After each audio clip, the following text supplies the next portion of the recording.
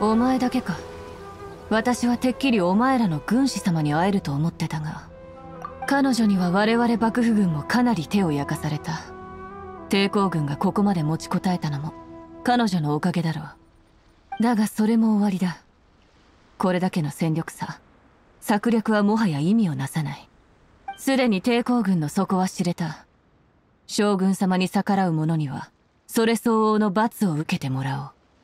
俺は三五宮様を信じてる。俺たち抵抗軍の兵士たちを信じてる。ネガリレーは正しい道なんかじゃない。俺たちは抵抗をやめない。いいだろう。それとお前たちも最新の検証例を見ただろう。あの金髪の旅人。今お前たちのところにいるはずだ。そいつを渡してくれるのなら息をつかせるくらいの時間はやろう。この時期に戦うのは双方にとっていい選択ではないからな。まさかそのために増援を。彼女は将軍様にとって重要な存在なんだ。抵抗軍にとっては不要であると私は思うがな。それは違う。彼女は抵抗軍にとっても重要な存在だ。彼女はもう抵抗軍に入り俺の部下になっている。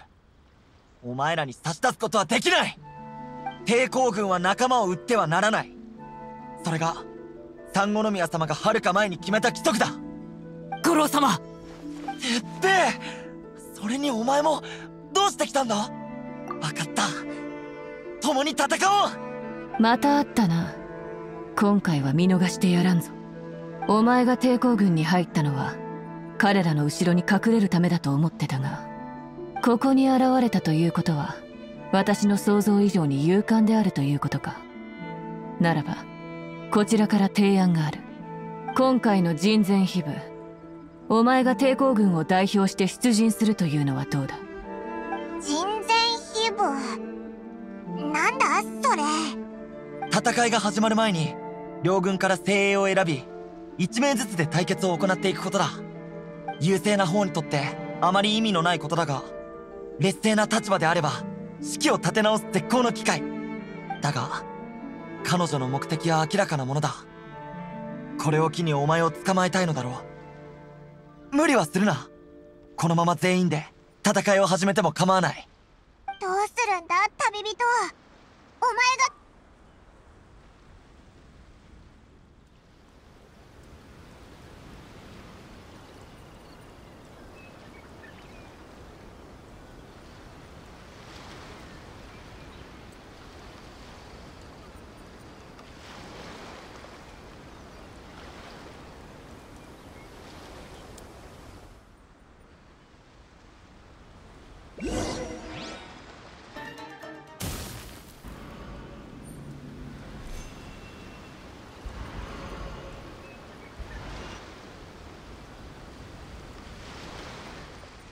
永遠の脅威となる全ての要素を排除する。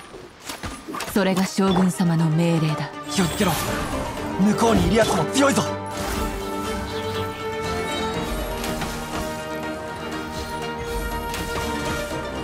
仕掛けるぞ。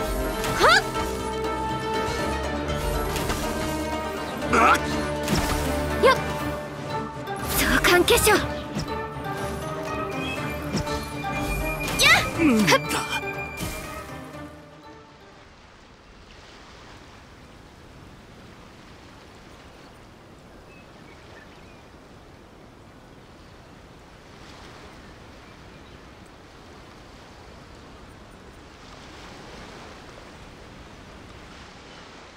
頑張れ。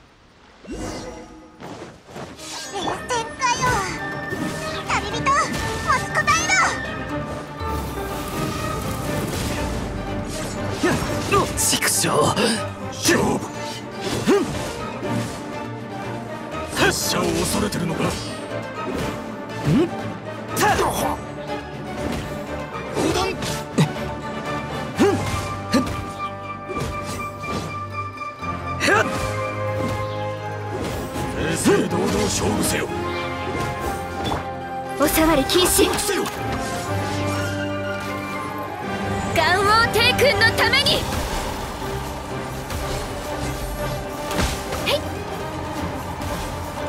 拙者を恐れてるのか？は？っしてまいる。へい。拙者。負けた。さすがにやるなどうやらこのまま戦っても意味がないみたいだ。兵士たちよかかれ！浄土を開口せしは永遠なる鳴神なり！どうやら戦いは避けられないようだな。迎え撃つぞ！皆の者俺に続け！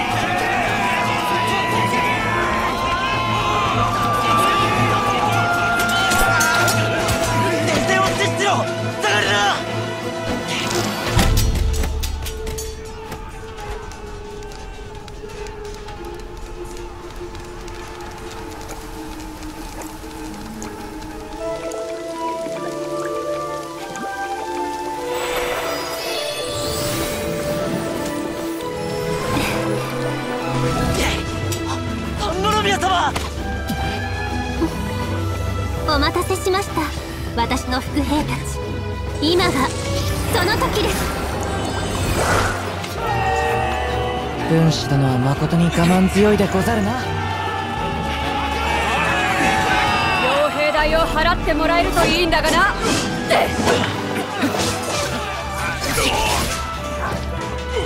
カズハ。久しぶりでござるな友よ。あ撤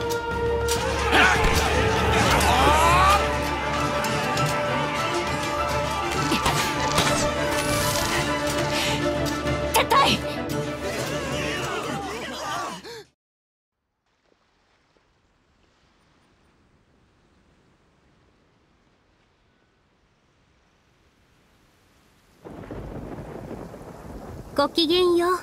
お初に多めにかかります。まずは自己紹介をしましょう。私は産後の宮ここみ。抵抗軍の指揮官であり渡積島の荒人神の巫女です。この肩書きは初めてお聞きになるかもしれませんが簡単に言えば渡積島は現在私が管理しています。それとあそこは抵抗軍の本拠地でもあります。実はすでに北斗さんと和葉さんからあなたのことはお聞きしていました。ただ抵抗軍のところに来るとは思ってもいませんでしたけど。この後何かお考えは？